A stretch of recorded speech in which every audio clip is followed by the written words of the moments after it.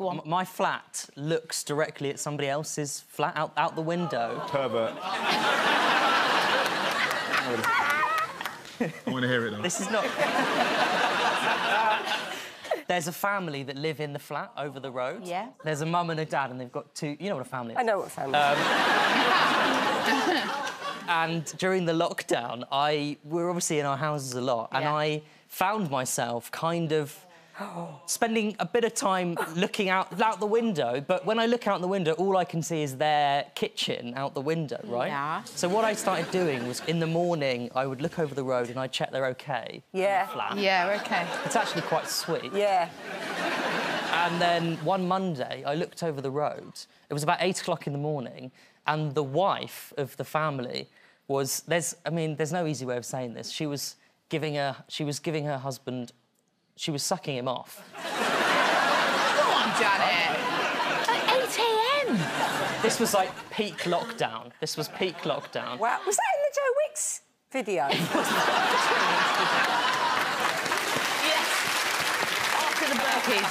So I was quite shocked. Was shocked by the timing. 8 a.m. 8 a.m. Are you sure she wasn't sewing up his trousers or something? or No, it was definitely it that. Was, it was definitely yeah. Do you usually sew up trousers by going like this, Mel?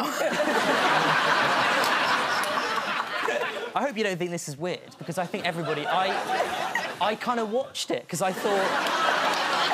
I thought you're not going to not watch that if that's happening across the road. Yes. So anyway, I, I watched it for I don't know maybe like I'll be generous to the man. Let's call it a minute. I was there. Um, and then what happened was he he finished right, and then she looked up and we made eye contact. it was the first time we'd ever made eye contact. So I just collapsed and I just fall to the floor. I would be flattered if my BJs were so good that I killed a man. I'd be like, yeah, powerful. And by the way, they are. Tom, it's one of the perils of living next door to Richard and Judy. But hold on, did you use binoculars? We live on the ground floor. I should say that as well. What difference does that make? You're still a pervert. She's That's a great story, though, Tom.